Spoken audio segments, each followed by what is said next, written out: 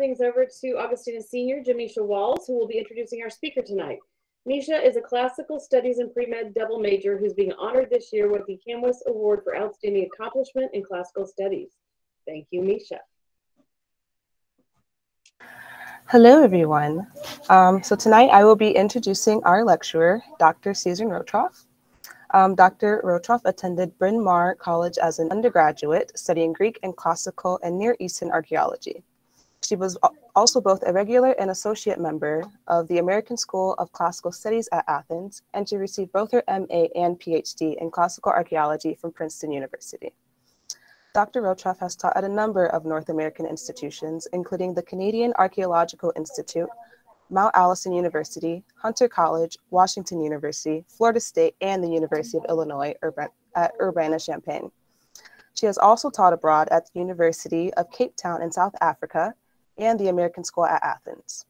Additionally, Dr. Rotroff has fascinatingly participated in numerous excavations and archaeological surveys on land and underwater in locations including Greece, Turkey, the UK, and North Africa.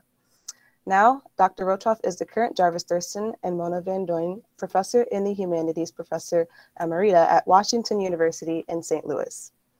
Among her grants and fellowships, she was a John D. and Catherine T. MacArthur Fellow from, from 1988 to 1993, and she received a National Endow Endowment for the Humanities Fellowship for the American School of Classical Studies at Athens in 2009 to 2010 and she held a John Simon Guggenheim Fellowship in 2013 to 2014. As for her many other awards and accomplishments, Dr. Rotroff received the gold medal from the AIA in 2011 and an Aristeia Award of the Alumni from the American School of Classical Studies at Athens in 2010. Finally, Dr. Rotroff's publications include scholarly reviews, book chapters, journal articles, edited volumes, co-authored books, and monographs. While these are far too numerous to list one by one, I will note a chapter on the ceramic industry in last year's The Cambridge Companion to Ancient Athens, as well as her most recent book, co-authored with Maria Liston and Lynn Snyder, The, uh, the Agora Bone Well. Now, while there's much more I could say about Dr. Rotroff, in the interest of giving her time to speak, I'll get to the main point.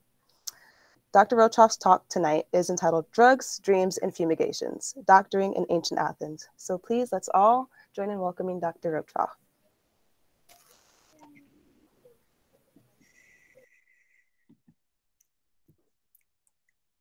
Okay. I'm sharing my screen. I hope everybody is seeing it. And thank you very much, Jamisha, for that very kind uh, introduction. Um, I'm very pleased to be speaking to you, um, and I wish I could be there in person. Uh, I was there in person maybe about 30 years ago, and I enjoyed my visit very much. Um, but it's better that we can do it this way than not at all. But I'm also very happy to be the um, lecturer for the Oscar Broneer Memorial Lecture. Um, I met Oscar Broneer when I was a young student. Um, and he was at the end of his career. He was very kind to young students, um, although he had a gigantic stature in archaeology. Um, he was very famous for discovering the temple of Poseidon at Isthmia, which is really one of the most important Greek temples and one of the very earliest ever built in stone. Uh, this photograph shows him many years earlier when he was excavating actually in, um, in Athens on the slopes of the Acropolis. Um, oops. Something changed. Can you still see my presentation? Hmm.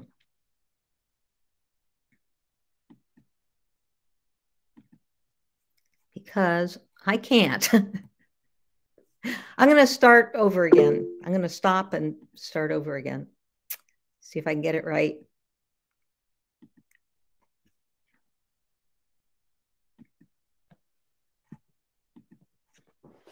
Okay. Got it back? Yes? Somebody tell me? Because I can't see you, so somebody say something. It looks good. Okay, great. Okay, but on to the main event here dreams, drugs, and fumigations. Um, I'm going to talk about three ancient approaches to curing, to healing, that people could uh, utilize when they got sick in antiquity. Oh, it happened again. Sorry. I keep pressing something that's the wrong thing to press. So I'm going to stop pressing that. Okay. Um, they got sick as much or more than we do.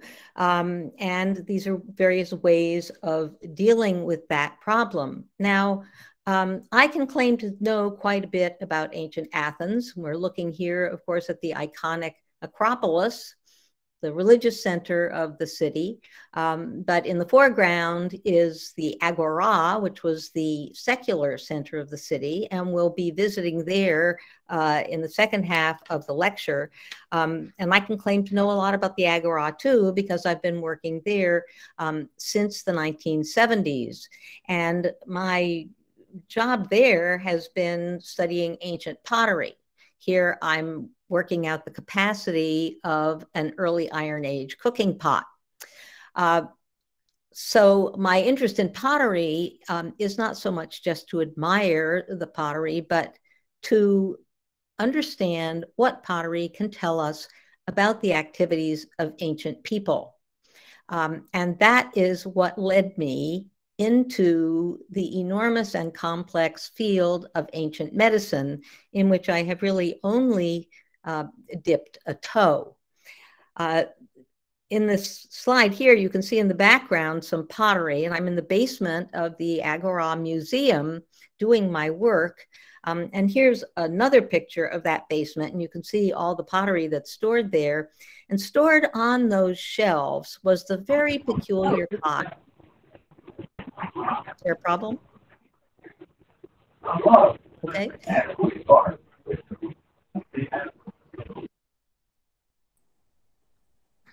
Sorry. Sorry? Is can you hear me? Is it okay? Is it okay? Yeah. Apologies, I I muted. Uh, please keep your microphones off, um, but I will try to mute someone if again if that happens. I can I can mute them. Okay.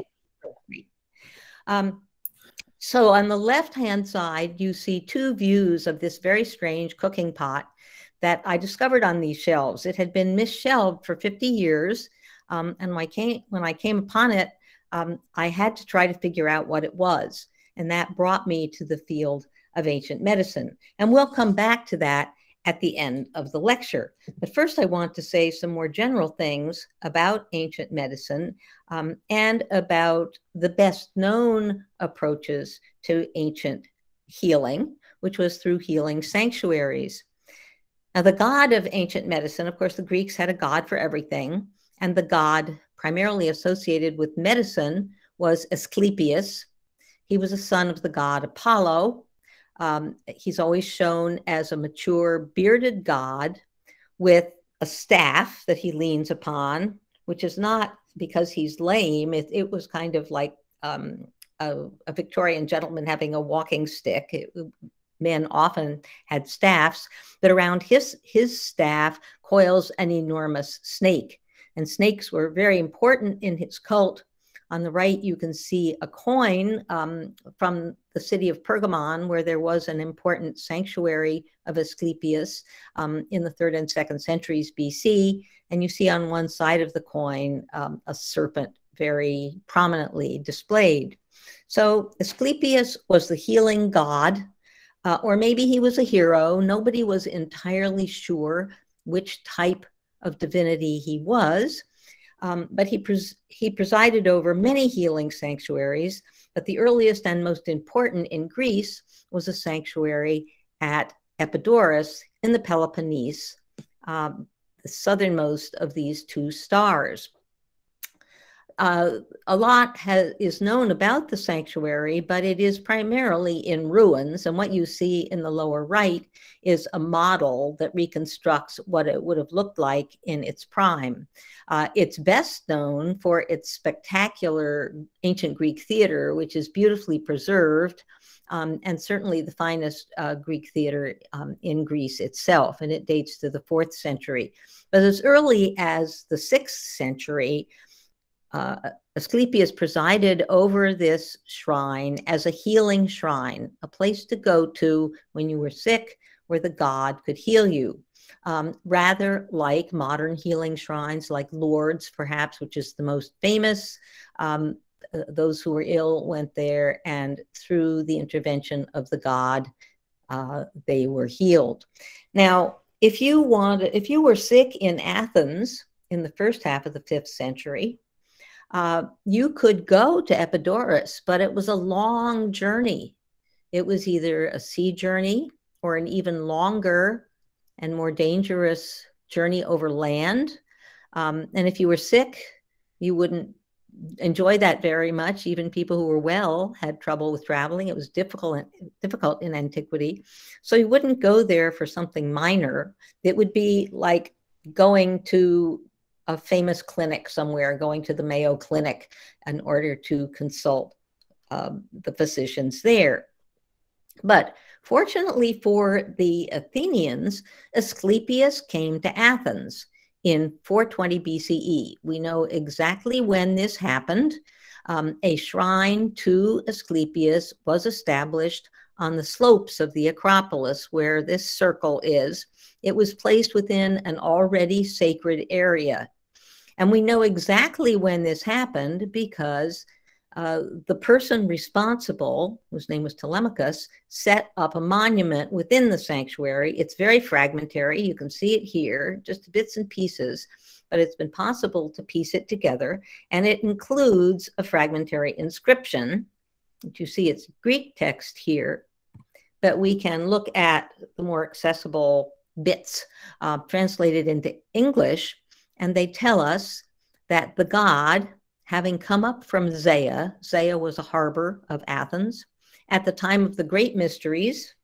This was in the fall, and it was the uh, festival of Demeter and Persephone. He lodged at the Eleusinion, that is, the sanctuary of those goddesses. There was no sanctuary for him yet, so he got there first, then they established the sanctuary. And then Telemachus, the founder of the sanctuary, having sent for something which is missing from the inscription, brought him here in a chariot in accordance with oracles. And Hygeia came at the same time. So the whole shrine was established in the archonship of Astiphilos of Kidantidae. And we know when this fellow, Astiphilos, was archon. It was from the summer of 420 to the summer of 419. So Asclepius came to Athens and was established here in the fall of 420. And he came in some physical form. We don't know what the form was. It may have been a statue, um, it may have been a snake, um, but he physically came and a place was built for him uh, with uh, by Telemachus. Um, and probably at Telemachus's expense. Um, and therefore, you could visit a healing sanctuary more conveniently close to home. Now, the earliest constructions in this sanctuary were certainly made of wood. They put them up quickly so that they could house the god. Um, what you can see now um, was excavated in the 19th century, um, in the late 19th century, and it looks more like a stone yard than anything, with all the bits of the later um, marble buildings spread around. But we can reconstruct its form um, in the first century of our era. Uh, gradually, the um, wooden buildings were replaced with stone ones uh, that are preserved uh, with their foundations up to today. So, in many ways, um, it's a very standard sanctuary. Probably the most important part was the eastern part, and that's what we know the most about. It had a monumental gateway, like most sanctuaries. You'd go in that way, and then you would enter the sanctuary proper. It had a temple and an altar, which is also very standard. Um, but it had some unusual things as well. It had a spring that had been cut into the rock of the Acropolis. Healing sanctuaries often had springs. Um, they were, in some cases, rather like spas. You went and drank the waters. And also, of course, uh, water is necessary for hygiene. Even more unusual, however, was a great monumental pit lined with stone, covered with a little roof, it's certainly part of the original sanctuary, uh, but we aren't sure of its purpose. It might have been for sacrifices. Um, heroes, unlike gods, received their sacrifices underground. So the sacrificed thing was placed in the ground. So this could have been a, for sacrifices to Asclepius as a hero, or it might have been a dwelling place for the snakes that we know were kept in the sanctuary. And finally, there was a long hall in the Roman period, even two long halls, and this was probably for the rite of incubation. This was the central rite or activity of a healing shrine. Um, the patient went to the shrine and incubated. That meant he or she slept in the shrine, had a dream, and through that was healed. That's the simple and ritualistic way of expressing it. Now, we are lucky in that we actually have a sort of eyewitness account of this um, procedure in the form of a play written by the playwright Aristophanes, the most famous of the ancient com comedic uh, writers, comedy writers. Um, it was produced in 388, um, and it's called Plutos, which means wealth. It's a personification of wealth. And the story, as it is presented, is that the problems of the world are caused by the fact that Plutos is blind. The hero of the play, who's a poor, down and out Athenian everyman, has the idea that if he if Plutus could see, everything would be better. Plutus hangs around with the wealthy. He hangs around with the likes of Donald Trump um, and um, Bill Gates. Um, but if he could see, he'd hang around with us and we'd have all the money. So he takes Plutus to the healing shrine to have him healed. He goes along uh, along with him goes his trusty slave, Cario, who's really the brains of the operation, which is usually the arrangement in these ancient comedies. The god goes, the god is healed, and later on, Cario recounts what they saw at the shrine. And it gives us the whole sequence of what you did when you visited the healing shrine. So Cario says, first, we led him down to the sea to purify him. So Purification, prayer, and sacrifice are part of the preparation for the experience. Um, then he says, once the wafers and various offerings had been consecrated on the altar and the cake of wheaten meal had been handed over to another god, Hephaestus. So uh, the sacrifice, here a bloodless sacrifice, but some people uh, sacrificed an animal. Um, we made Plutus lie down on a couch according to the rite. And this would probably have taken place in the stoa, though the patient could in fact sleep anywhere in the sanctuary. The lights were put out, the priest enjoined us to sleep, recommending that we keep silent, and we were all lying down quietly. Then the god arrives and he's accompanied by his daughters. Now, um, Asclepius had a bunch of daughters. All of them are personifications of various things that have to do with health. Iaso and Panacea. Panacea means panacea, cure all. Iaso is healing. Um, another daughter was Hygeia, hygiene. Um, so he's accompanied by these daughters, and this is the incubation scene. This is what was presumably a dream, but since it's a play, it's recounted as what actually happened. Asclepius did the round of the patients and examined them all with great attention. He seated himself at the head of Plutus's bed and took a clean rag and wiped his eyelids.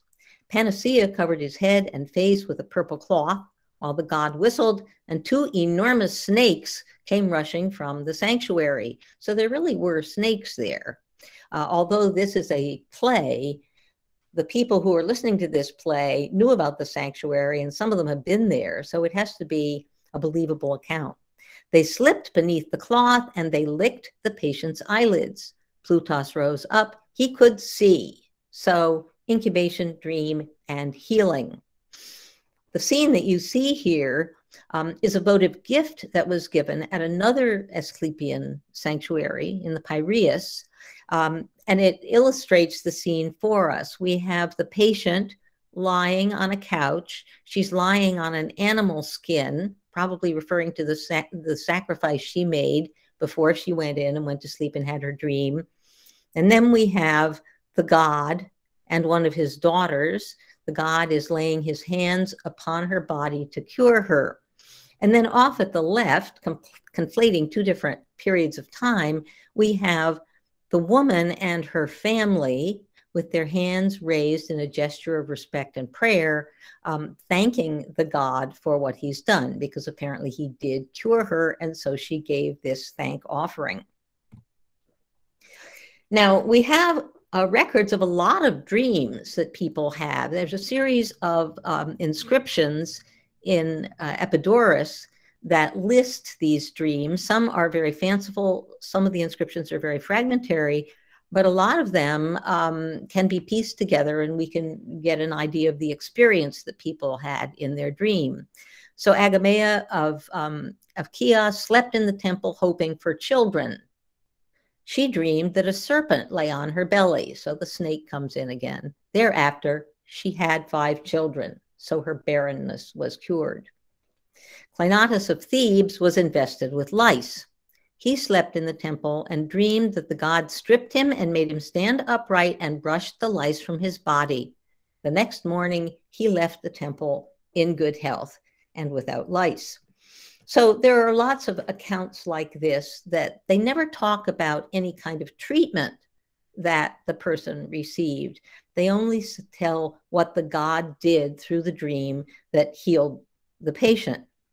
Now, one thing they also stress is that it's very important to express your gratitude. So, people who don't get in trouble.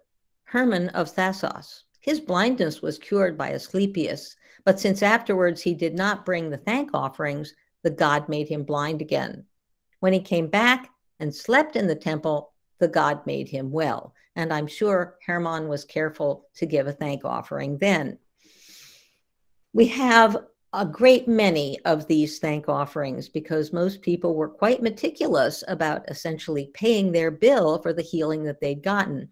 Now, the very wealthy could give money or um, vessels made of precious metals or a statue of the god.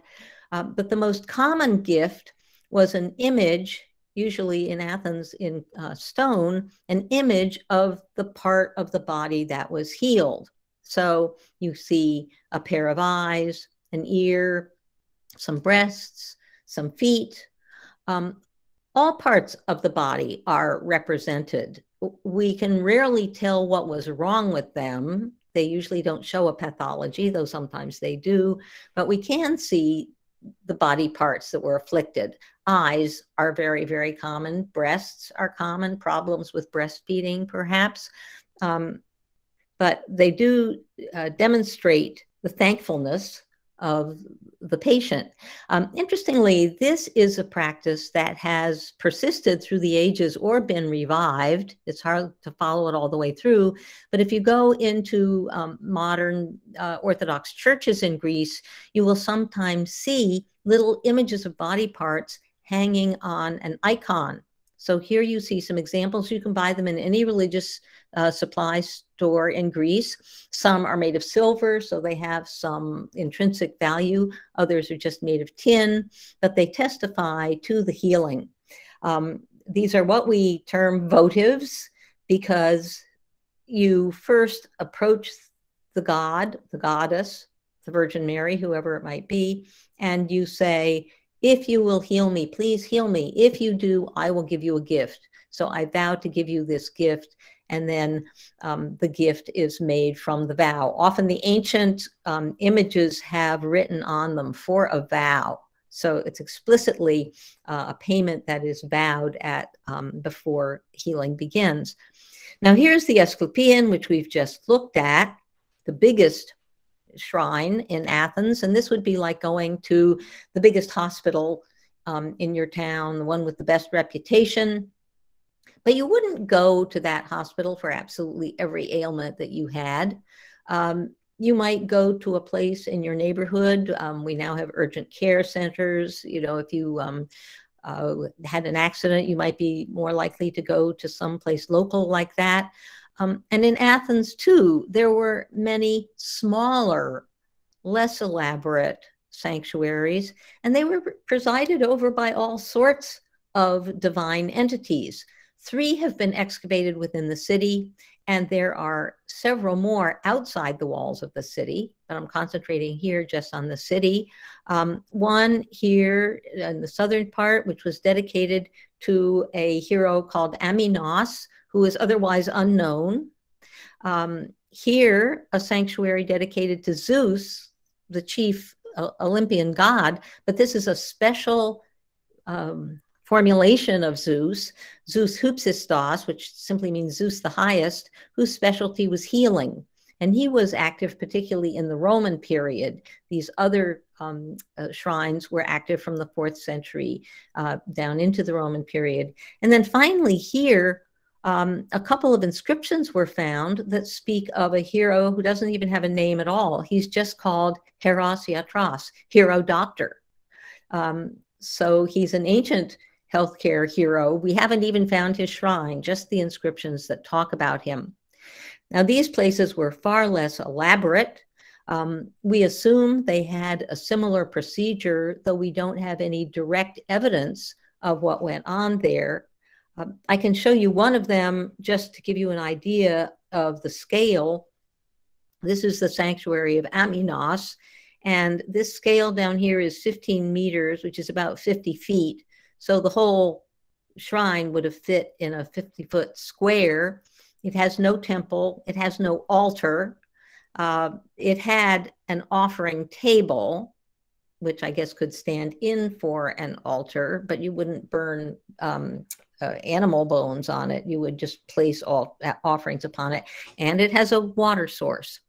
And what it mostly has is thank offerings. So pedestals like this with an inscription saying that so and so set this offering up to the hero, um, body parts. And here, one of the most elaborate body part reliefs that has turned up in Athens, it shows the patient, the healed patient, presenting a gigantic model of his diseased leg. And here we even see his complaint, a swollen vein and he's placing it in the sanctuary where there are already others um, thank offerings that have been placed there. So, um, from what we get from the uh, sources that describe the healing experience, it's all about sleeping in the temple and being healed. There's very little about any kind of actual treatment done by people who were trained um, in medicine. But there certainly was treatment. It's simply that in this religious framework, one did not describe it that way. So here is a votive relief that was given by a man named Archinos um, in a hero in a healing sanctuary out in the Attic countryside, and it conflates three different things. First of all, we have Archinos lying on a couch asleep, having his dream, and while he sleeps, one of the sanctuary snakes has come to tend to his shoulder. Then we see his dream. Here is the healing hero, who in this case is named Amphiaraus, but he looks exactly like Asclepius. And he is using a scalpel to perform an operation on the young man's shoulder. So he is treating it although it's in a dream form. And then finally, over here, we see Archinus afterwards, healthy, healed, his arm raised in the gesture of respect and prayer. And this is the gift that he has given to the god. In fact, this is a portrait of the object we're looking at. So there was treatment in these sanctuaries. It's just, it wasn't the important thing to talk about. But if we look back to the inscription that told us about the founding of the Asclepieion, there is a very fragmentary relief here, but in it, we can see some medical instruments. It's easiest to see in the drawing. We have the god Asclepius, his daughters, um, but hanging on the wall are some forceps and some other objects as well. So treatment went on. People were healed not just by the miracle of the God, but because the priests and others at the healing sanctuaries had experience of medical matters. They knew about treatment. Um, they knew about surgery. They knew about uh, medicine and drugs and how to apply them to bring about an auspicious outcome for their patients. But treatment went on in other places as well. And I want to turn to the second part of the story, um, which is a little bit more down to earth kind of medicine. Um, this is a little oil jug, just big enough to fit in the palm of your hand, uh, that was painted in Athens in the earlier part of the fifth century. And it shows medical treatment. Here's the doctor, a very young man. He's performing bloodletting on one patient Another patient is waiting in line. He's obviously um, has a wound of some kind and he's uh, coming to have the bandage renewed. Um, and then we have four more people. We can't tell what's wrong with them. They're just waiting in line, they're chatting with one another, or perhaps this is a patient who's already been treated and leaving. But it reminds us that there were doctors. Um, they're mentioned only in passing, though. Um, some uh, they aren't particularly high status people necessarily, um, although more and more in the Roman period they were. Um, there was a state doctor. The Athenian state paid an individual to practice medicine. Obviously, he couldn't treat everybody. Um, but I want to look now at some of these more, uh, a, a little bit of evidence for this kind of day to day healing. And we'll be starting out with medicines and drugs. So again, we look across at the Acropolis and at the Agora excavations here. Um, and those excavations have produced quite a bit of interesting evidence for the practice of medicine, but it's very spread out, it's hard to find, um, and it's hard to track down. But I've tracked down a couple of instances that I would like to share with you.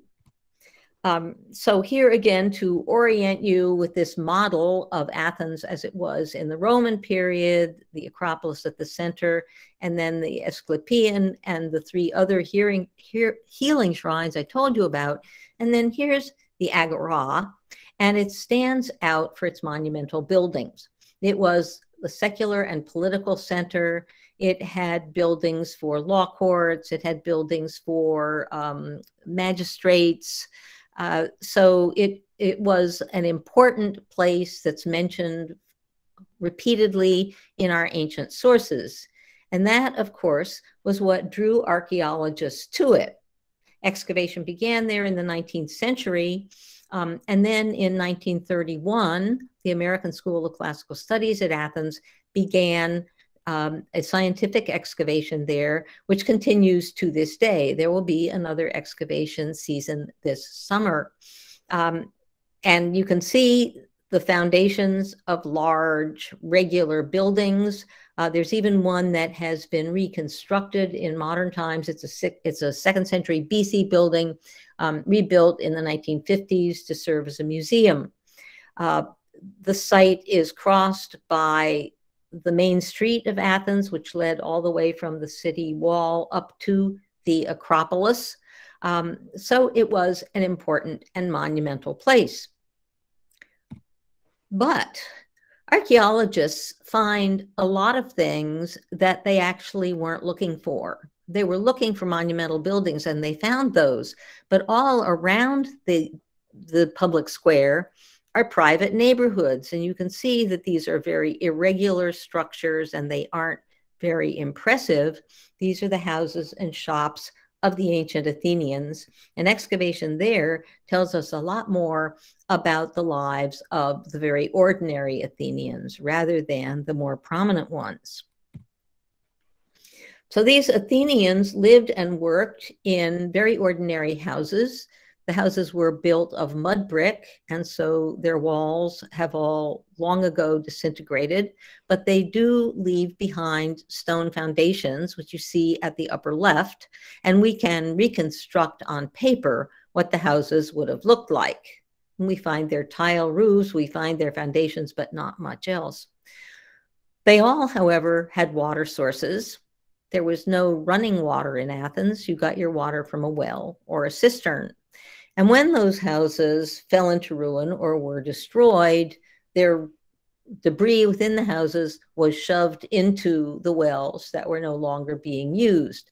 So when we excavate things from the wells, we find things from the houses, and they tell us something about what was going on in those houses. So I'm going to look at two different instances of water sources that contain things relevant to the practice of medicine. Now, the kinds of things we find, um, they obviously have to be made of durable materials, and we find discarded medicine bottles. Sometimes they even have labels. These two examples, you can see they're about the same shape and the same size. This is two centimeters, less than an inch. So you can see how small they are, uh, probably about two and a half inches tall. And they have these stamped labels. And the labels contain the word likios, it's hardly read here, but, or likion, which is the name of a drug. So I've put it in red here. Uh, then there's a name of a person, Nicias here and Hermophilus, the son of Moschyon there. That's the name of the person who compounded the drug, either a pharmacist or a physician. And then there's the stamp of approval, a word that means guaranteed. This stamp is a guarantee that this bottle really does contain the drug Likion. You'll find bottles that look like this without stamps, beware, it might not be the real true Likion. We've also found a couple of lead medicine bottles, even smaller. These are maybe an inch and a half high. Lead doesn't seem like a good thing to put medicine in, but they were not aware of the poisonous qualities of, of lead, and it does conserve things very well.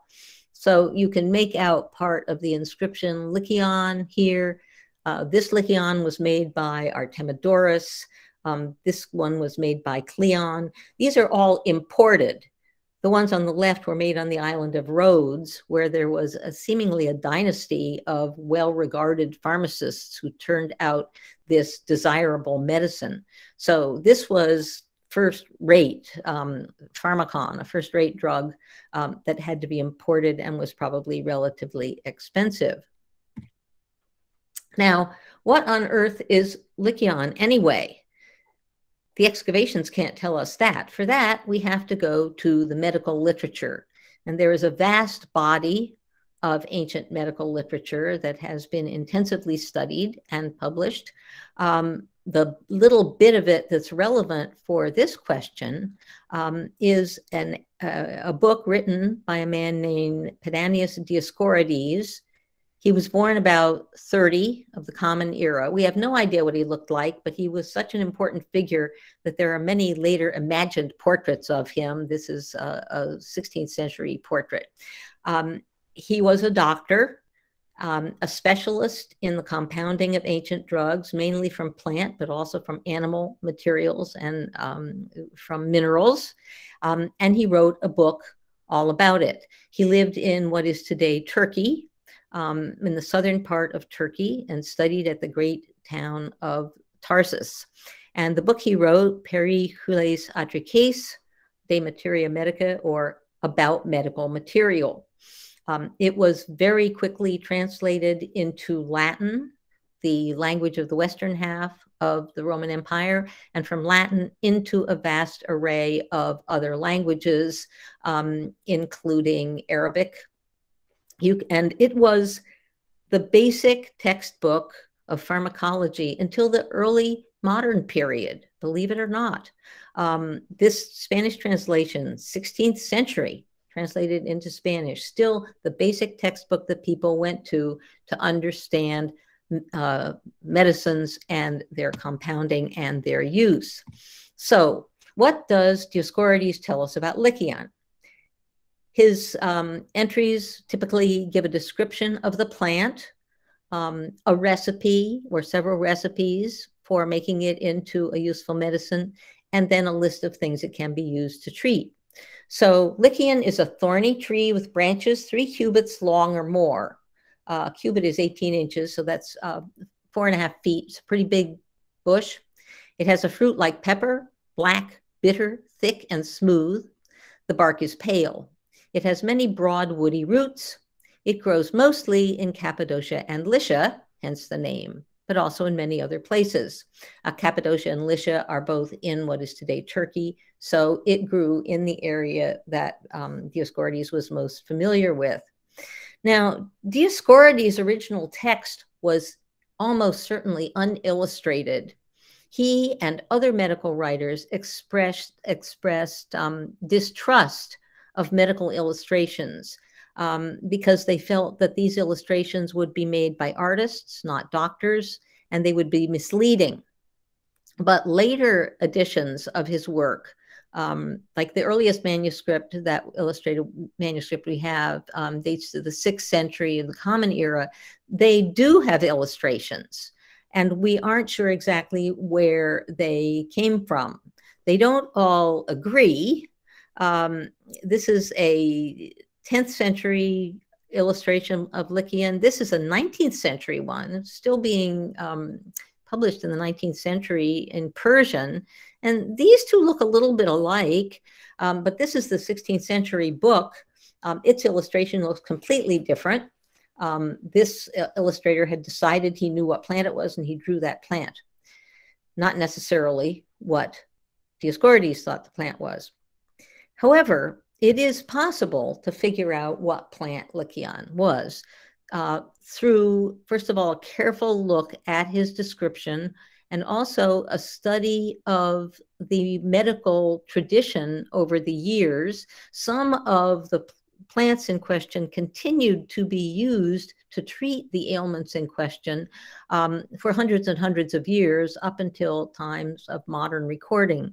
So, on that basis, um, botanists have decided that probably Lycion um, is a plant of the Rhamnus genus, probably Rhamnus cathartica or buckthorn, which you see illustrated here. You can see, for instance, um, the berries, the fruit that he talked about, which is black and bitter.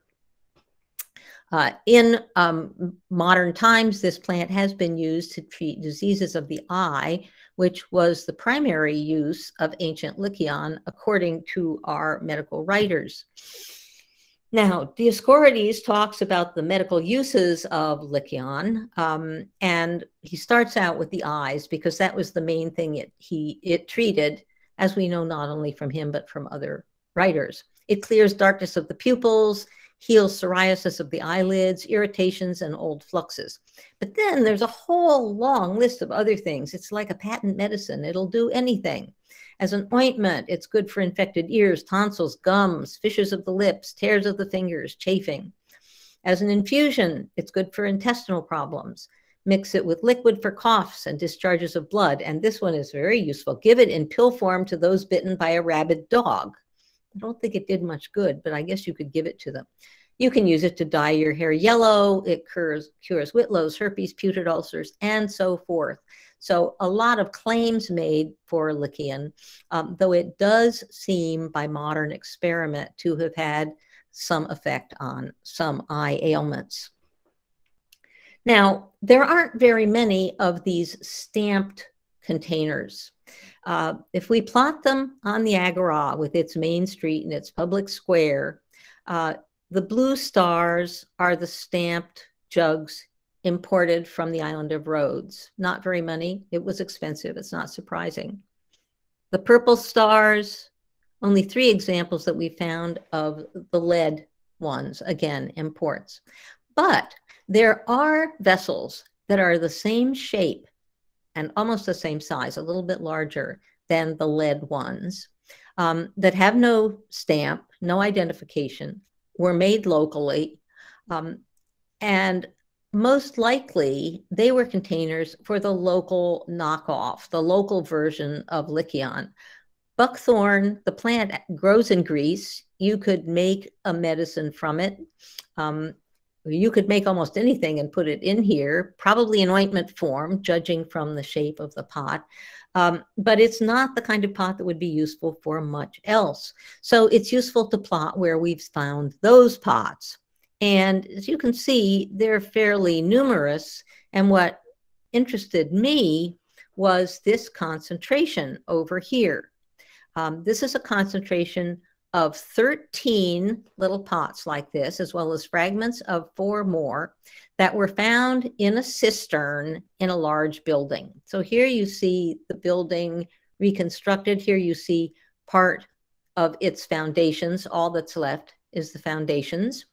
Um, and there was a cistern in this building, in, in this room of the building that contained these little pots.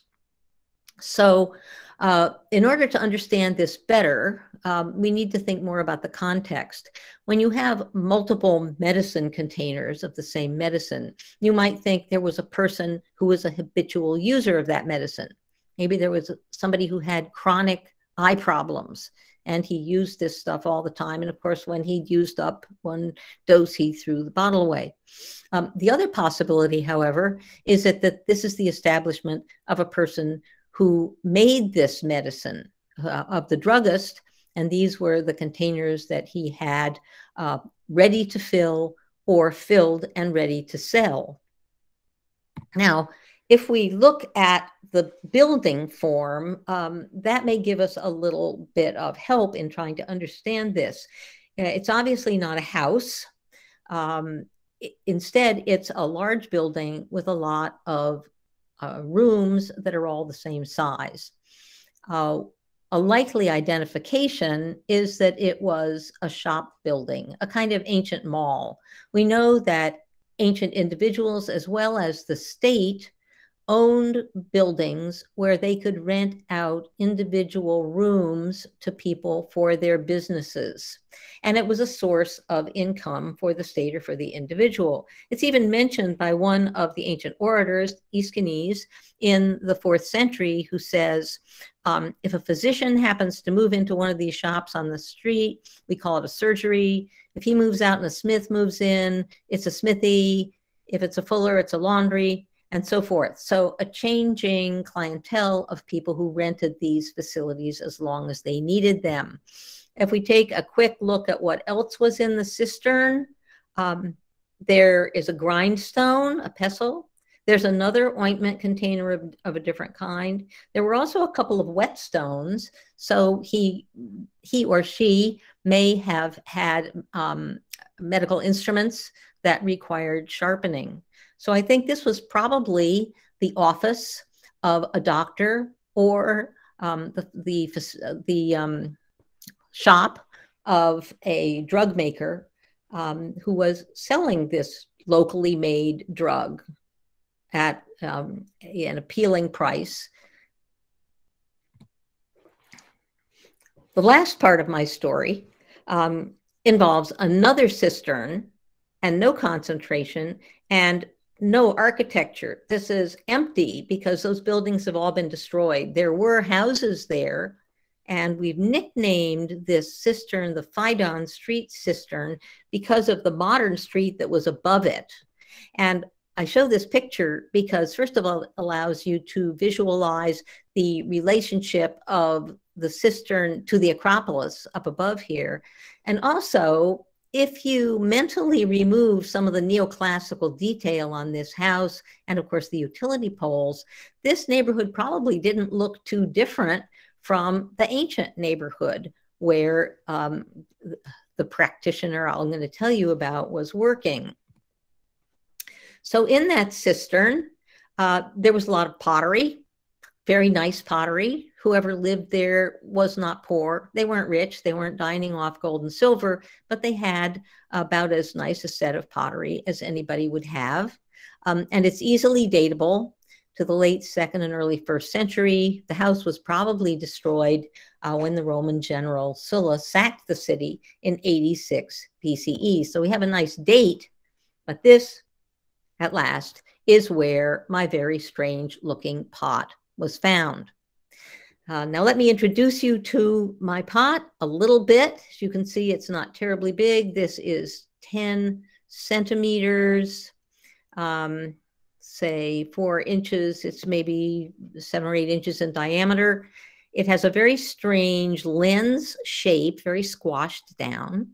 Um, we know it's a cooking pot because of the material it's made of. It's a very grainy fabric that was capable of withstanding heat Um, it's also smoky and um, burnt, so it, it was used with heat.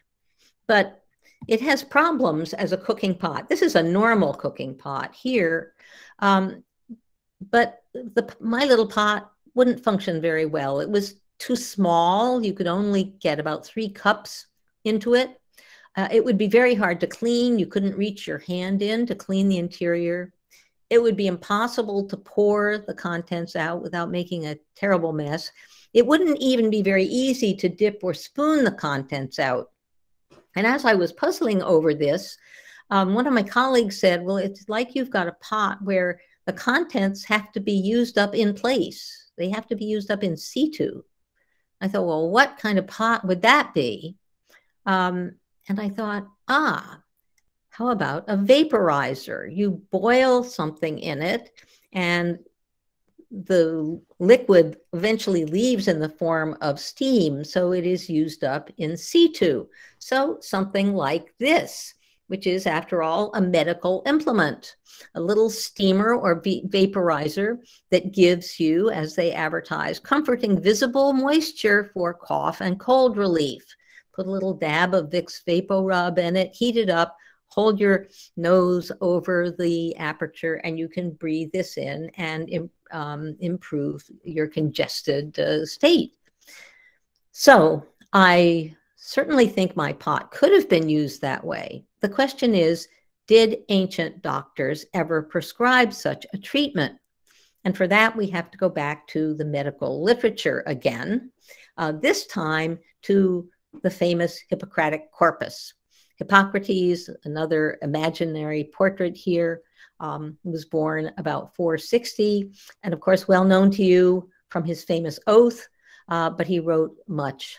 Um, in addition to that, um, the Hippocratic corpus contains writings by Hippocrates on various things, probably the most famous one is called The Sacred Disease. It was about epilepsy, and he was famous for declaring that there was nothing sacred about it and giving um, uh, a non religious explanation of the ailment. Um, but he wrote about uh, many other ailments as well. And then other doctors, his colleagues, his followers, on down to the second century of the Common Era, wrote similar treatises. And these have all been gathered together as the Hippocratic corpus. So I dove into the Hippocratic corpus, which is an enormous body of literature, fortunately very well indexed. and I discovered that yes, ancient doctors did use vapor treatments. Um, in fact, they were quite common. And they had two different types wet treatment and dry treatment. And I'll give you a couple of examples.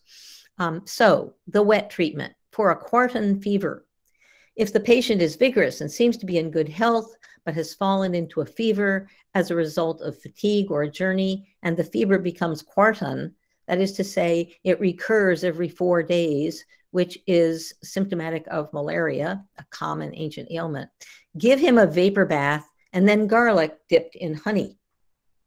Or for a brain complaint, if when the flux and pain have stopped, he feels a heaviness above his eyebrows. Make him take a vapor bath with vinegar, water, and oregano. So, different formulas for what you put into the liquid to boil so that the person can breathe in the steam. Much more alarming is the process known as fumigation, the dry treatment, um, in which the materials that are burnt are often extremely unpleasant These were often treatments for women's diseases, particularly um, hysteria, which was a disease, a, a series of symptoms that were believed to be caused by the movement of the womb, the hystera. And if the womb was out of place, you would have these symptoms. And so the treatments were designed to put the womb back in its right place. So Make a fumigation with scrapings of black goat horn or deer horn and throw it on hot coals so as to have as much smoke as possible. The woman breathes in as much as she can through her nostrils. Poor thing. But this is to force her womb, which is too high, down further as it scuttles away from the noxious throat.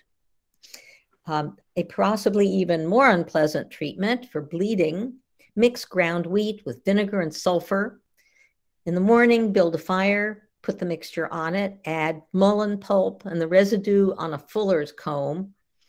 Diminish the heat and boil so you get the most smoke. Have a stool with an opening and sit the woman there, covering her with clothes so that the smoke does not escape. Throw the vinegar mixture on the fire. And so the woman, woman will absorb this from below through her vagina, and her womb then will scuttle upwards because apparently it has been too low. So they did use such treatments. And I even found the information that fumig- you may fumigate also with lentil shaped pots, Phacois ostracinois, pouring in hot water. And whatever else my pot may be, it's definitely lentil shaped or lens shaped. So there is specific reference to this medical instrument in the Hippocratic corpus. And I feel confident that we are in the presence of um, materials that were used by an ancient doctor um, around the beginning of the first century BCE. Um, just a couple of notes um, before closing. Um, to support that uh, contention, we can look at the other material in the cistern. There are several measuring cups. These don't look like modern measuring cups, but I assure you that this baggy, funny shape was used for measuring liquids in antiquity. And of course, if you make drugs, you have to make them according to a recipe, which has very specific amounts of the different ingredients that you must put in. So a person compounding drugs would need measuring devices. Um, he or she would also need um, pulverizing uh, mechanisms the pestle and mortar, of course, are still emblematic of uh, apothecary, of pharmacology. And there were two pestles in the deposit, um, each of them uh, worthy of a little note. Um, one of them, you can appreciate its very worn lower surface here. It's broken. There was an upper part. It's a, a shape called a finger pestle, or the upper part is the joint of the finger which you held onto while rubbing the plant um, that you were um, going to add to your um, drug. We didn't find any trace of the mortar, uh, so this practitioner probably used a wooden mortar, which was fairly common. Um, and even more fascinating to me is this tiny little grinder. Again, you can appreciate its worn surface. It's made of an exotic stone. It must be an import. Um, and in fact, it is a hoary antique. What it it began life as an early Bronze Age weight. These have been studied in detail. Here are some examples from Bronze Age sites, and some of them have little dots on them to indicate their value. This is obviously an antique. It was about 2,400 years old when the doctor on Phaidon Street was using it. Um, I'd like to think that, you know, it was perhaps pa passed down in his family, um, maybe not that long. Um, but it's also true that some of these uh, prehistoric um, shaped stones were believed in themselves to have healing properties. So I think uh, that there is no doubt that we uh, have found the place where uh, um, an ancient medical practitioner worked. Um, unlike uh, the first example, he didn't have a separate shop. Um, he practiced medicine out of his home, which was probably a fairly common uh, occurrence. Many people had their workplace and their home together. Now, he may have been what the Greeks called a pharmakotribes, a drug grinder, someone who produced the drugs to sell to doctors um, but because he has the fumigation pot, he or she, because there were female doctors, um, I think uh, that this person may have actually been a doctor. Now, in conclusion, healing sanctuaries with their rituals and their dreams clearly offered enormous comfort and spiritual support for healing, as well as practical healing that is kind of behind the scenes. The medical literature tells us a huge amount about the ancient medicines and medical treatments. But for me, these humble objects offer an especially direct and intimate connection with the medical experience of ancient people, both the patients and those who endeavored to cure them. And I hope that they have given you too some insight into these ancient lives. Thank you.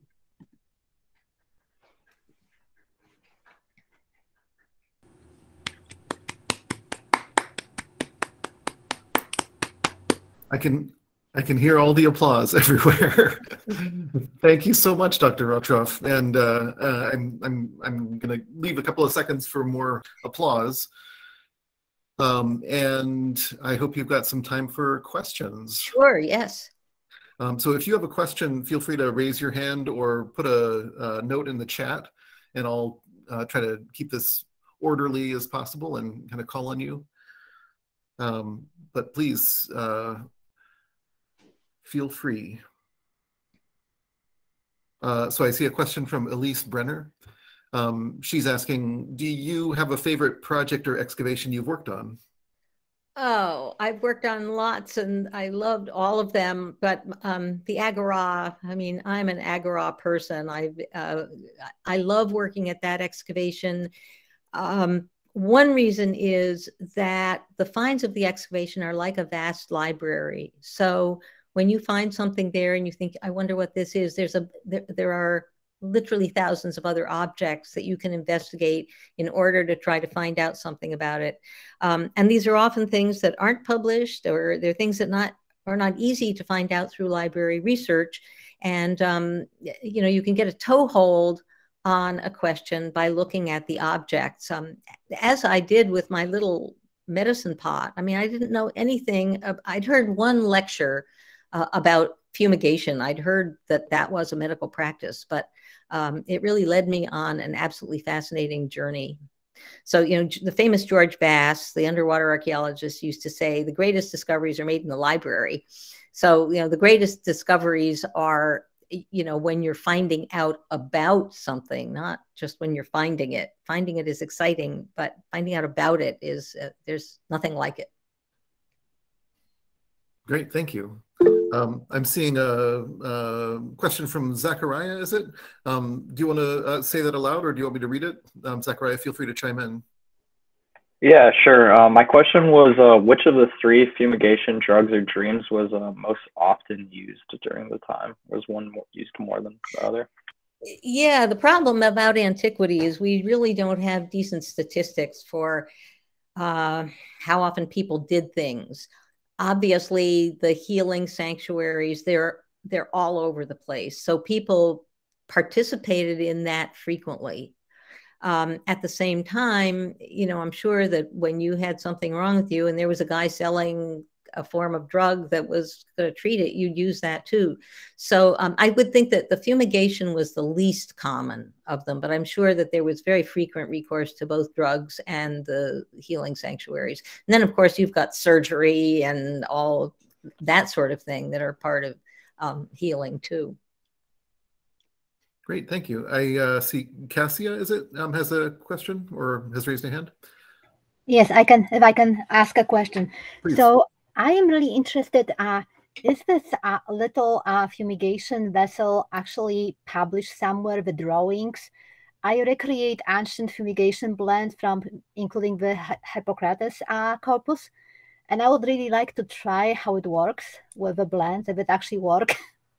Oh, well, you know, um, this has been published and you can look at the you can see the pictures and you can replicate it if you you know if you have if you are a potter or if you have a potter who can um, replicate it for you um, yeah that would be fascinating to um, uh, you know to uh, to actually try it out um, you know there there may have been um, it's always bothered me that it, it, seems like there ought to be a way of covering it so you could just have an even smaller hole. But um, you know, if you actually replicate it and tried to work with it, um, you might, you know, it's another way of discovering things about it, sort of experimental archaeology. So go for it. Yeah, I have I have a potter who actually can make it. I just need all the details. Mm. Okay, um, if you email me, I can send you the publication which has the measurements and so forth. Okay, and I will do it. I appreciate that. I would love to see you do that. well, that's you. great. That's great. Um, so I'm seeing a question from Dara Wegman-Keaty. Do you want to say that aloud or? Sure, absolutely. And thanks so much, Dr. Rotroff, for your talk. It's just, just fascinating to me. You can ask my students, I teach microbiology. I love always talking about the roots of words. And so when I heard you talk about the Lycion, I thought, gosh, that sounds like liquor maybe or elixir. And is there any evidence that those words might have that same root? Even like pot liquor, when you're talking about cooking, just means fluids. And then, of course, buckthorn. Um, solutions and buckthorn teas can even be used as a purgative today. So I thought maybe that's a kind of a, anyway, I'm extrapolating wildly, but maybe there's some evidence. Um, I don't think there's any connection to elixir or liquor. Um, the source of the name is this, the place Lycion, where a lot Lycia in um, southwestern Turkey, where the plant grew. Although the plant grew everywhere, but you would probably be. I began trying to. I'm sort of interested in botany. I mean, I really don't know much about about plants, but it's it's a minor interest of mine. Um, and I began to track down uh, how they identified this Lycion with a modern plant. And there, one thing that Dioscorides tells us is that the Lycion you get here in Greece and Asia Minor is not the best. The best is made in India, hmm. and it's made from a different kind of plant. And he describes that. And there was a British doctor who was um, I think he was in charge of a botanical garden in um, the late 19th century. And he was interested in botany and interested in medicine. And he tracked down the Indian plant. And the Indian practitioners were still using um, pharmacological literature that was directly descended from the Dioscorides and had some of the same names. So they said this is you know, was likum. And of course, they were written in Hindi, but he knew Hindi and he knew Arabic. And he has phrases that say, and then I was walking in the Himalayas and I asked, you know, so and so, or I was at the bazaar and buy. So he was able to make a direct link between the ancient tradition and this medicine, which doctors in the 19th century and the guys who sold unguents in the bazaars were still using. So there's some fascinating um, connections there. And his publication, which is the 19th century article, is still fascinating reading and still valid. Wow. Um, Ambrose, I see that you have a question.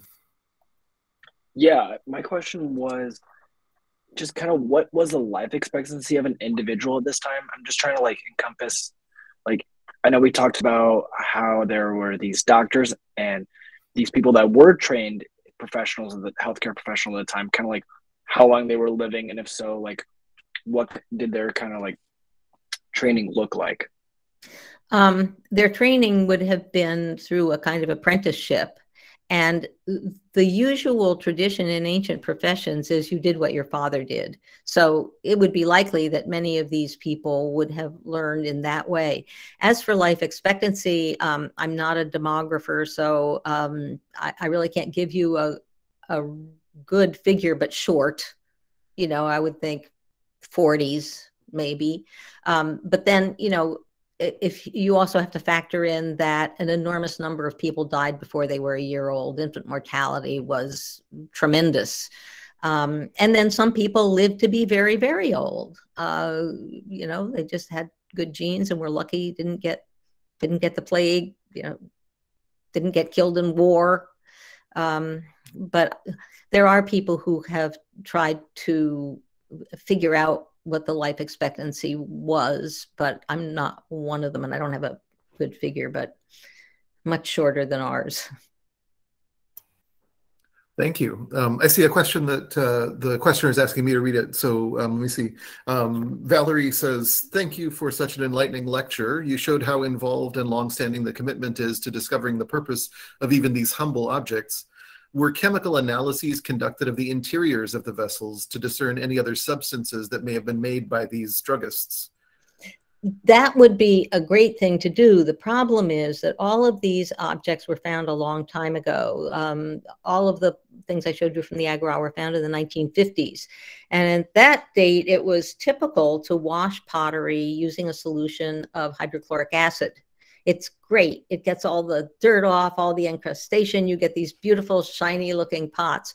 But um, it makes subsequent um, analysis of the sort that we would like to do nowadays um, pretty much impossible. I mean, it, it, it alters uh, or removes any um, traces of earlier contents that might have been there. And for this pot, that would have been fascinating because, mm. uh, you know, an ordinary cooking pot, usually you'll get results like, oh, there's lamb fat, there was, you know, spinach, you know, the kind of things you expect people to cook. Um, and this would be great, but unfortunately, um, it's not possible. I have to find another one and, and treat it right. Does anyone else have a question for Dr. Rotroff? I see uh, Dara um, wrote that we use HCl baths to acid wash labware today, which is definitely yeah. true.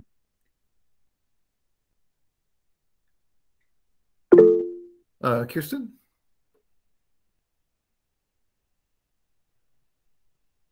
Oh. Sorry, I had to figure out where to unmute. I'm just wondering if you can comment on the, the dreams. You know, you hear so much about the dreams, uh, these dream cures, and that so many of them were successful. so um, I'm just wondering if you can comment on, you know, why there's so many records of successful dream cures. Like, it doesn't seem like sleeping would cure you of um, well fertility and things like that. And uh, is this in conjunction with some of these other things that are going on that aren't necessarily yeah. mentioned in literary sources right. and things? I think you um, you go to the healing shrine and there are a bunch of people there who are familiar with the common ailments um, and they have they have the means of treating those that are sometimes successful. I mean, some some ailments are um, are susceptible to psychic suggestion too. I mean, we're reading time and time again that you know the mental attitude has a big impact on healing. So if you go to the healing shrine and you have a positive attitude to believe you are going to be healed, um, you've got a better chance than somebody says, this is just garbage and I'm not going to get healed and I'm not going to give my gift at the end. You know, that's what happens to you. So I think there was a psychological element to it. I think there was an element of treatment. Um, there are a lot of things that, you know, although these ancient medicines were not, um, you know, tested and tried the way ours are, uh, people did observe that um, you know they improved situations there was also surgery they, could actually do cataract surgery in antiquity and it was actually somewhat successful and apparently not all that painful. I don't know how they, a lot of opium, I think, uh, on the eyeball, but uh, there were things that they could do to, uh, that were effective. And the people uh, you know, who knew how to do that. Uh, many of them were employed essentially as priests within the healing sanctuaries. So it was a combination of a psychological treatment um, along with a physical treatment. And, um, you know, I've experienced illness in which I have done both. You know, you do some yoga to give yourself relaxation and help your body heal. So um, I think that that's the sort of thing. There's a whole um, study also of dreams. There are people who've devoted a lot of um, of work to what the dreams people had and so forth. I haven't delved into that literature, but I know it's out there. Well, then in the uh, sanctuary at, at Epidaurus, for instance, there's also the theater and you know other like spa-like um, you know, facilities and things like that. Um, yeah, well, there are usually baths, for instance, and kinds of bathing and drinking the waters. You know, certainly the Victorians swore by drinking the waters, and um, there are springs that were regarded as healthful and may, in fact, have been healthful yeah there's just it seems like it's always attributed not always but so often attributed to the dreams in literary accounts. Um, and perhaps that's, I mean, of course, it's more holistic than that, but I just think it's interesting. Yeah, but saying I went in and took a pill, that's not a very good story. You know, doesn't It- right. it's a lot better story when you've got the dream. Yeah. Thank you. I have Uh, a question for Dr. Rotroff, if that's okay. Sure, go ahead. Um, uh, Dr. Rotroff, let me just say that I was very impressed with your lecture. I was convinced by all of your arguments, and Good. That doesn't happen very often.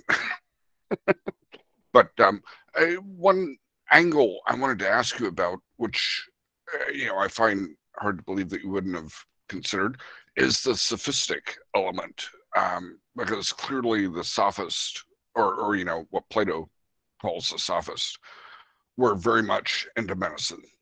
Um, and I'm thinking of Eric Eryximachus, for example, um, from the Symposium in Mhm. Republic, or Right. actually from the Symposium. uh, he doesn't play a part in the Republic, but um, yeah, just wanting to know your thoughts, if you don't mind.